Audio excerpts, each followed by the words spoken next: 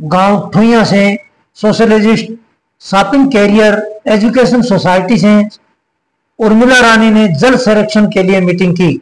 उन्होंने ग्रामीणों को संबोधित करते हुए बताया कि जल संरक्षण अभियान के तहत हर ग्रामीण जल बचाव में अपना योगदान दे। वर्तमान दौर में शुद्ध पानी की मात्रा निरंतर घटती जा रही है। यदि समय रहते हुए हमने जल नहीं बचाया तो शुद्ध पानी का भारी संकट हो जाएगा। हर घर को शुद्ध जल सुनिश्चित करने के लिए खंड के हर गाँव में जल संरक्षण अभियान चलाया जा रहा है। जल संरक्षण अभियान के तहत हर गाँव में चौपाल का आयोजन किया जाएगा।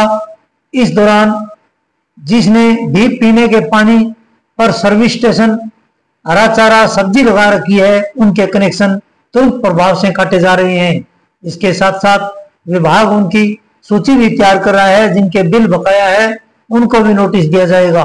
यदि फिर भी बिल का भुगतान नहीं करते हैं तो उस, उनके कनेक्शन भी काटे जाएँगे, ताकि ज़िले के हर घर को पीने का पानी मिल सके। उन्होंने ग्रामीणों के समक्ष नक्शा बनाकर भी पीने के पानी से संबंधित समस्याओं को चिन्हित किया। जिन घरों में पीने के पानी के नलों पर बंद करने वाली टेप नहीं लगी है, उन सभी घरों में टेप लगवाई जा सके।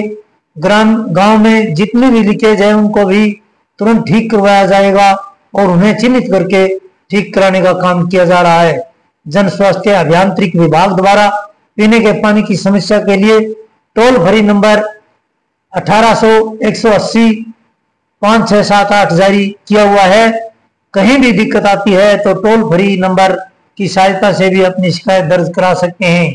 इस दौरान सरपंच सुरेश मल्हान, पंच आशा वर्कर आंगनबाड़ी वर्कर व ग्रामीण मौजूद रहे।